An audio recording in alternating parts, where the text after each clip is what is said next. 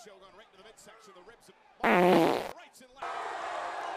By the world's largest athlete. I almost feel like this is a chance for Big Show to try to one up Ryback's job last week. It's all about the Miz brand. My manager has been doing amazing work for me. Not only has he gotten me the Intercontinental Championship match, he's also gotten me talk on the award-winning WWE Network, which everybody was talking about. Yeah. Not only that, you know I got what? a movie coming out this Christmas.